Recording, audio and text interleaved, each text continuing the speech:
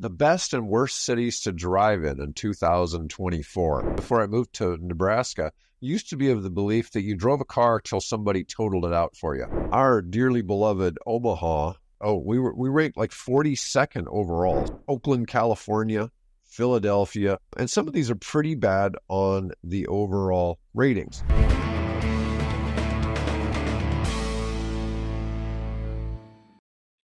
Hi, I'm David with EV World News. We talk about electric vehicles, green energy, and the stock market. We're moving on to our top story of the day the best and worst cities to drive in in 2024.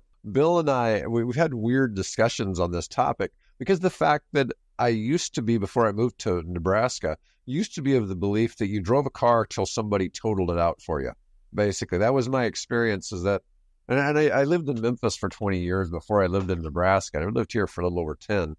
And here, never been in an accident. I've seen accidents here, but they're really rare. And I was just like, but in Memphis, I see accidents all the time. And if I go back down there, I pretty much have a near death experience every day I'm there. And it's just, it's just different. I mean, we have very stress free driving in Nebraska. We, we've talked about this a couple times because, like, man, you know, my car insurance is so much lower here and so many things. So, anyways, these statistics rank cities based on a bunch of cost of ownership and maintenance is an interesting factor. Traffic and infrastructure, safety, and access to vehicles and maintenance. Now, I wouldn't imagine that. I, I guess I've always taken for granted you can go buy a car somewhere so apparently, overall, number one was Raleigh, North Carolina. And it doesn't rank, it ranked number two in cost of ownership and maintenance. So apparently there's a lot of cheap mechanics in Raleigh, is all I, I can imagine.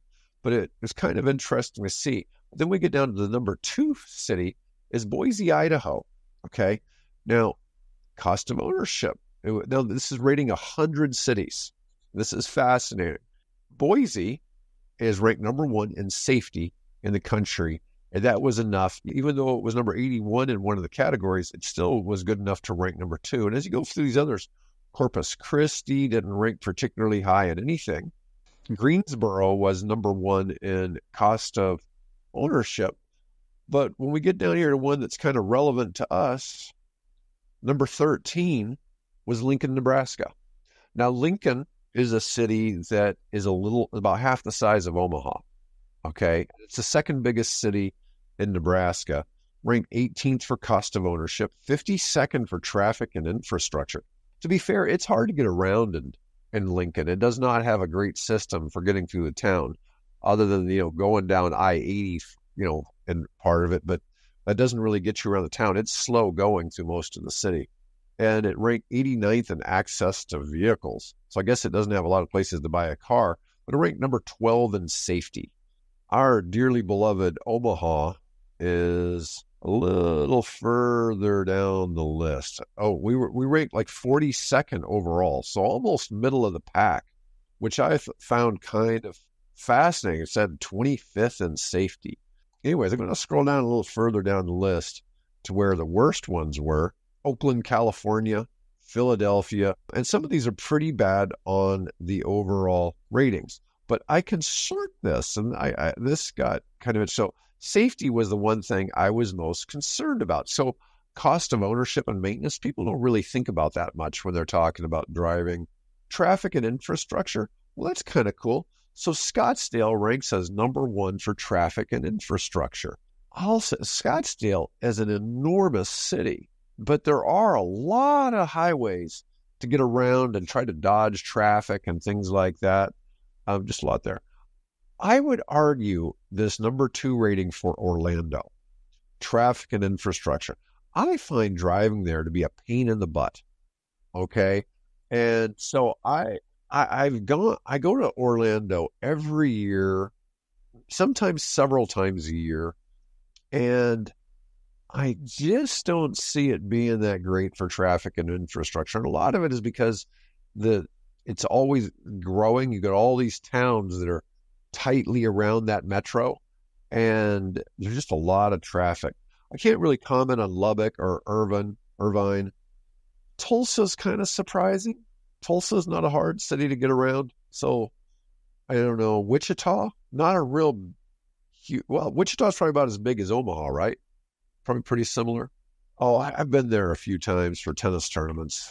Um, let me see. But just kind of looking at some of these, it was kind of interesting. I'm not sure how they pick some of this. See, Birmingham being number 10, and I don't know, that kind of doubt some of that.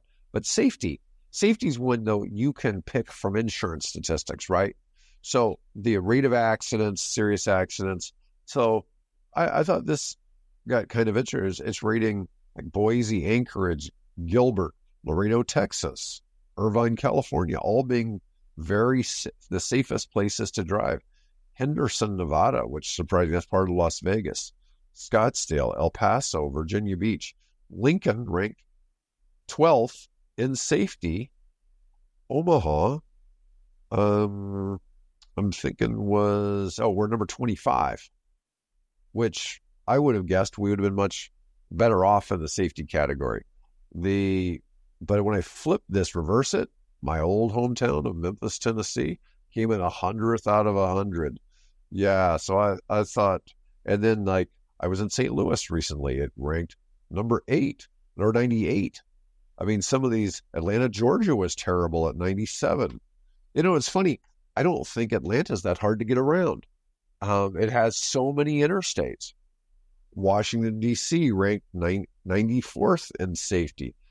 You're having a, that's one place. They ranked 97th in infrastructure. I would have almost pegged it dead. I would have pegged it dead last. So 97 out of 100, I guess, isn't bad on that one. But I, I found just some of this kind of fascinating. I, I don't know where, like I'm saying, the cost of total cost of ownership. I don't know how heavily that should weight access to vehicles and maintenance. I mean, is there, are there really cities you have trouble finding cars to buy or places to get maintenance? So the hardest place to buy vehicles or to get maintenance is Anchorage.